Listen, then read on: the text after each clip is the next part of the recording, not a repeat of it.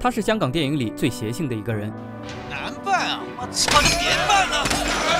这是《古惑仔》中大反派乌鸦为了不让兄弟们吃饱饭，故意掀翻桌子的场景。而这一掀成就了香港电影的经典一幕，让张耀扬一战成名的同时，也让他成了很多人的童年噩梦。演完这个角色后，张耀扬走在香港街头会被人辱骂，家里也会无故被丢石头。虽然吃到了角色带来的红利，但他一生却没能摆脱反派的形象。二零一四年，张耀扬因为在公寓吸食违禁品而被警方抓获。从红极一时到锒铛入狱，张耀扬到底经历了什么？今天我们来揭秘乌鸦张耀扬的幕后往事。一九。九六三年七月，张耀扬出生于香港一个贫寒家庭，家中有六个兄弟姐妹，父母为维持生计拼死工作，但日子依旧艰难。而一场突如其来的意外，让本就艰难的家庭更是雪上加霜。一九七二年，马上就要十岁的张耀扬，在一次搭车外出时不幸遭遇车祸，经过几个小时的紧急手术才保住了性命。可当他睁开眼睛看到哭啼的母亲时，却怎么也想不起以前的事情，童年的记忆消失大半，他开始记不住东西，成绩一塌糊涂，靠学习改变命运已经很渺茫。张耀杨。想要早点进入社会自力更生，在中学毕业之后，张耀扬就迫不及待参加工作。他先后做过水泥工、搬运工，基本上有活就干，靠着一股拼劲儿，一度混到了一家贸易公司的总机先生。而在这家贸易公司，张耀扬一干就是两年，他的身高也窜到了一米八一。一九八二年，一身腱子肉、身材健硕的他，抱着试试看的心态做起了广告模特。这一试也让他成了多家健身饮料和运动时装领域专用男模，不用开口说话，却赚钱不少。如果这样下去，那他的生活将会是另外一番模样。但上天给予张耀扬的惊喜并没有就此结束。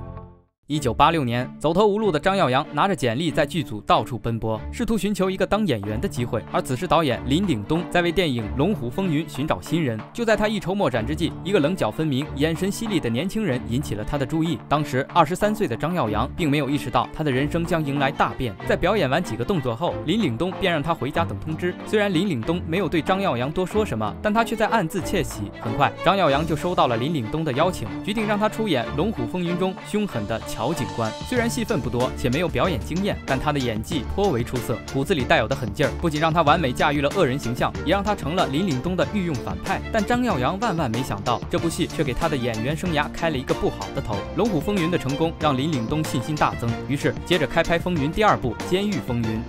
待会儿回去你不好好吃饭的话，我就把你跟所有老大关在一起，然后我会告诉他们，是你搞的飞机，你一样会被打得半死。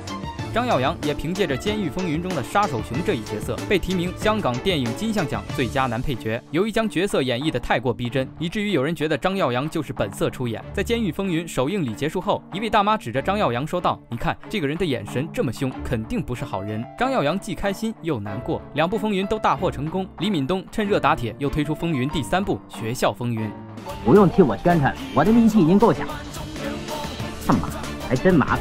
净会收些学生，钱又赚不到，拿把刀子还没力气，竟会打架泡妞，有空调教一下。凭借这三个反派角色，让张耀扬坐稳了反派的第一把交椅，事业也渐入佳境，迎来巅峰。这是张耀扬的巅峰之作，也是他最后悔的一部电影。一九九六年，张耀扬出演了刘伟强执导的《古惑仔三只手遮天》中的乌鸦一角，让本就火爆的《古惑仔》系列瞬间席卷亚洲。在捧红郑伊健、陈小春等电影明星的同时，也让张耀扬的事业达到巅峰。然而，《古惑仔》有多火，张耀扬就有多可恨。他将乌鸦的贪婪、狡诈、凶狠、残暴演绎的淋漓尽致。我真的很后悔加入黑社会。我现在跟你算清楚。上回你捅娄子拿了八十万，你怎么跟我交代？不仅调戏大哥的女人，还经常掀桌子，甚至弄砸关公像，谁都不放在眼里。关老爷，办你有什么屁用？啊！做小弟的都拿刀子捅大哥了，出来混的没一个讲义气的。然而，就是这样一个动作，让他后悔了一辈子。在那个时代的香港，大家都信奉关公，所以在开拍前，张耀扬对导演安排的这个镜头非常抵触，甚至说出了不修改剧本自己就退出拍摄的要求。就这样，双方在僵持一段时间后，导演组许诺有丰厚片酬和红包，张耀扬才勉强同意拍摄。在剧组杀青后，刘伟强带着全剧组人员摆了一桌谢罪宴，集体下跪向关公请罪。张耀扬更是花十万替关公重塑金身，表达自己的悔过之心，但他内心却始终不安。之后，虽然偶尔饰演穷。穷凶极恶的大反派，但都没有了往日的凶狠。直到二零零八年，已经中年的张耀扬身体突然出现问题，在拍戏途中因为动作失误患上了严重的腰椎疾病，治疗过程非常痛苦，这让张耀扬认为是当初摔关公导致的结果，甚至最痛苦时有过轻生的念头。于是他告别演艺圈，在大众的视野中渐渐淡去。可当他再次出现的时候，竟不是在电影里，而是在警方的通报里。二零一四年七月二日，五十一岁的张耀扬因在公寓吸食违禁品，被北京市公安局禁毒总队抓获。经过检测，他的尿检呈阳性。张耀扬也对 事实供认不讳。没想到，演了一辈子坏人的他，在。